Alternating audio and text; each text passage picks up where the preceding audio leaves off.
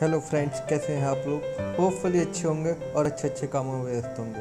मैं आपका host and दोस्त मोहम्मद अमान शाहिद आपका वेलकम करता हूँ आपके अपने चैनल में, जिसका नाम है बॉटनिक हेवन आज हम बात करने वाले हैं एक बहुत खूबसूरत से सक्यूलेंट प्लांट के बारे में, जो बहुत हार्डी प्लांट है बिगनर्स प्लांट भी जिसको कहते हैं, जिसका नाम है सेंसिवेरिया मदर इन लॉस टंग भी बोलते हैं कई लोग।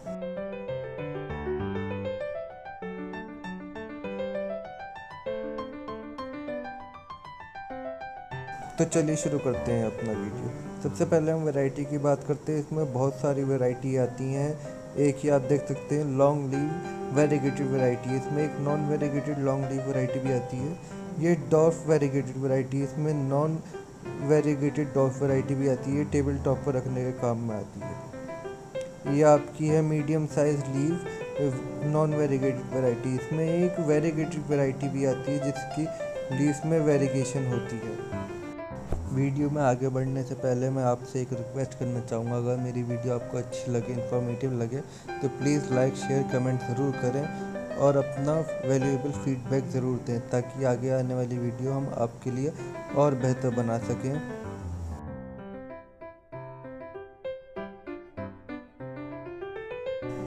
इसकी प्रोपगेशन की बात करें तो इसकी प्रोपगेशन बहुत ईजी है। आप इसकी एक लीफ कहीं से भी लिया है, अगर आपको कहीं भी प्लांट दिखे तो इसकी आप एक लीफ कट कट कर लें।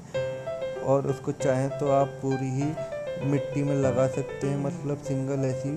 या फिर आप कर, चाहें तो इसकी आप एक लीफ के थ्री टू फोर पीसीस करके भी लगा सकते हैं। लेकिन ध्यान रहे ऊपर वाला हिस्सा मिट्टी के ऊपर रहना चाहिए और नीचे वाला हिस्सा मिट्टी के नीचे जाना चाहिए। मैंने भी ऐसे ही लीफ कटिंग करके लगा रखी मैं आपको दिखाता हूँ।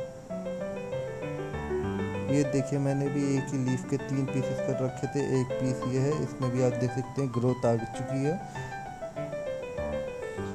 एक लीफ आपकी राइट हैंड को दिख रही है कटिंग इसमें भी आपको, आप देख सकते हैं ग्रोथ आ चुकी है शायद आपको दिख जाए बहुत छोटी सी अभी ग्रोथ स्टार्ट हुई है। एक कटिंग और है, वो भी मैं आपको दिखाता हूँ। देखिए, एक कटिंग ये है, ये भी मैंने पूरी लीफ लगा दी थी। इसमें भी आप देख सकते हैं ग्रोथ आ चुकी है। इस साइड में से छोटी सी एक स्टेम निकल रही है। तो इसकी कटिंग लगाना बहुत आसान है।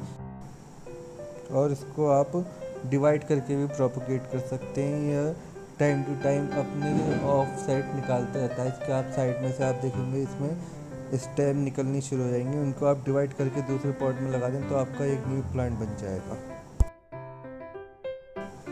इसकी वाटरिंग रिक्वायरमेंट की बात करें तो ये ड्रॉट टॉलरेंट प्लांट है। जैसे मैंने आपको पहले ही बताया था, ये सक्यूलेंट प्लांट है। इसके लीव्स में वाटर स्टोर रहता है। तो इसको आपको ज़्यादा वाटरिंग करने की आवश्यकता है नहीं, आप इसको वीक में एक बार वाटरिंग करें और हमेशा सॉइल देख के करें। अगर सॉइल ड्राई है तो तभी वाटरिंग करें। अगर सॉइल ड्राई ना हो तो वाटरिंग ना करें। देख सकते हैं मेरे सारे प्लांट्स की लगभग सॉइल ड्राई है तो इसमें अब मैं वीडियो के बाद वाटरिंग करूँगा।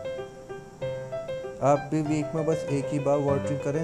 ओवर वाटरिंग करेंगे तो प्लांट में रूट रॉट हो जाएगा और प्लांट मर जाएगा। इसका सिर्फ़ यही कारण है मरने का कि इसके रूट्स में फंगस लग जाता है और प्लांट मर जाता है। इसलिए आप अगर चाहते हैं आपका प्लांट ज़्यादा टाइम चले तो इसमें वाटरिंग कम ही करें। इसकी लोकेशन की बात करें तो इसको ऐसी लोकेशन प्रोवाइड करें जहाँ इसको फुल डे इनडायरेक्ट सनलाइट मिले।